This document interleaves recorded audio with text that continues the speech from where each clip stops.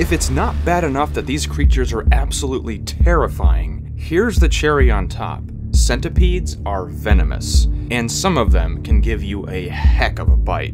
Oh, oh, oh, did it get you? But what if I told you that one centipede actually had a venom unlike any other creature on the planet, and it's almost certainly living under your feet right now?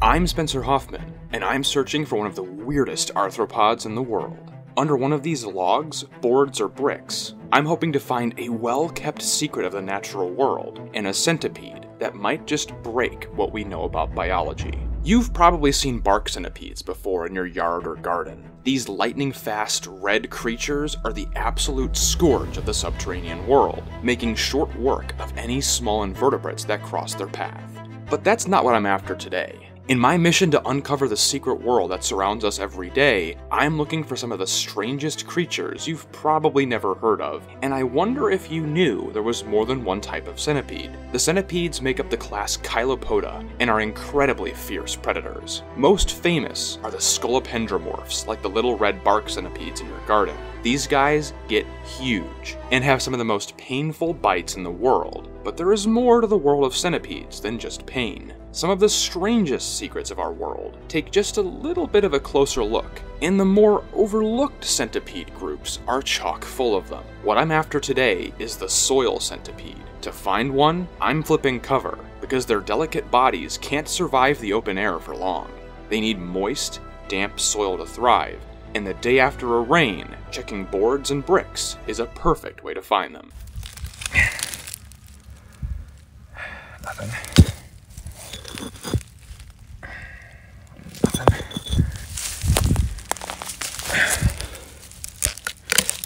Oh, there we go. Look at that.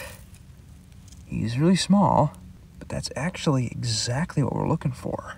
That is a soil centipede. You're probably like, Spencer, that thing's tiny. You can't tell me that thing's venomous. Believe it or not, it actually is. Look how it moves. Soil centipedes look unlike anything else on the planet. You can tell that they're centipedes. They're bright red and orange, and they have one pair of legs per body segment, but they're so long and worm-like.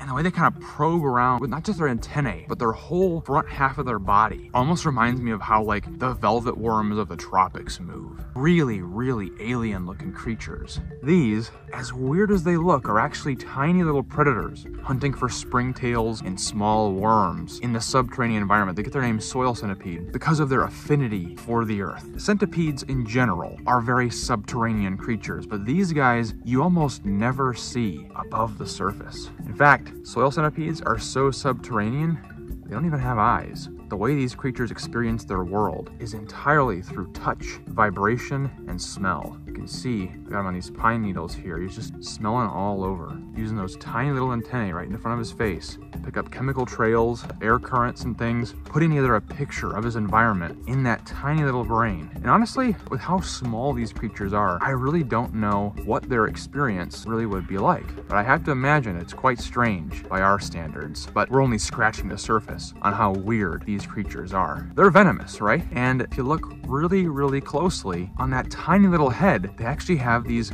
modified legs that have become fangs or venom claws. They're actually used as hypodermic needles to inject their subterranean prey with that incredible unusual venom. But to understand what makes the venom of this centipede so unusual, we have to understand how venom evolves in the first place. With snakes and spiders, there's actually a lot of evidence that suggests their venoms are actually modified saliva. And while some of the toxins they have may just be proteins that these animals have modified over millions of years of evolution, there's actually evidence to support that in a lot of these saliva-based venoms, the toxins were stolen. Most infamously, everyone talks about the brown recluse and how their bites rot away at your skin and melt your arm off and can even kill you, right? It turns out there's a very convincing hypothesis that the brown recluse may have stolen its necrotic compounds from necrotizing bacteria. But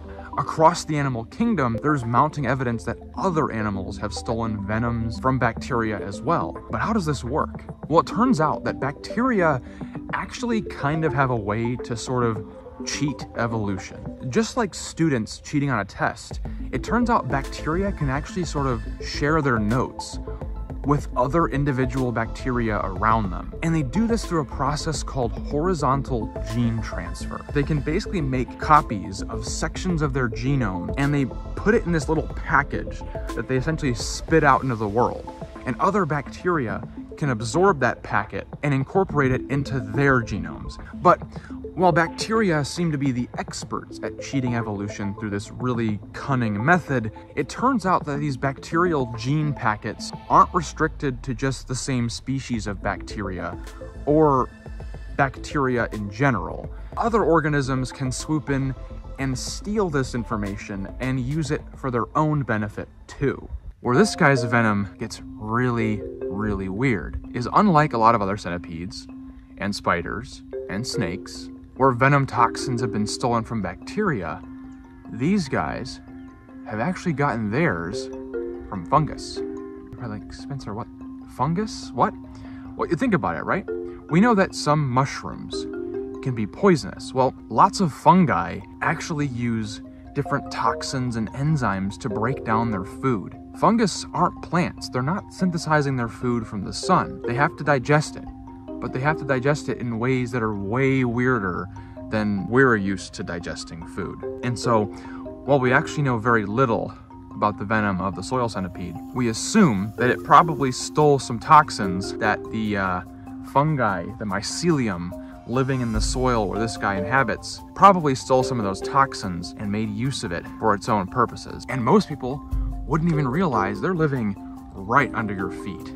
If there is damp soil there are probably soil centipedes living near you. These guys have even broader range than a lot of the bark centipedes do. These bizarre creatures are definitely just just feet from you right now while you're watching this video, which is just wild to me. It's one of the reasons I love a lot of these subterranean creatures so much is they are a perfect example of a secret of the natural world because they're living right alongside us and most of the time we have no freaking clue they're even there. And the fact that these little myriapods are so successful means that these weird venom adaptations they have are actually serving them quite well in their environment. There is nothing else quite like these bizarre creatures right here. And what they're doing is they're keeping the populations of all those springtails and tiny little soil dwelling worms in check so that everything is balanced in the secret world can carry on, absolutely incredible. Definitely a creature that most people would probably see and not think twice about. They're small, they're unassuming, they don't move very fast, so they're not all that scary or startling, but at the end of the day, they're one of the most unique life forms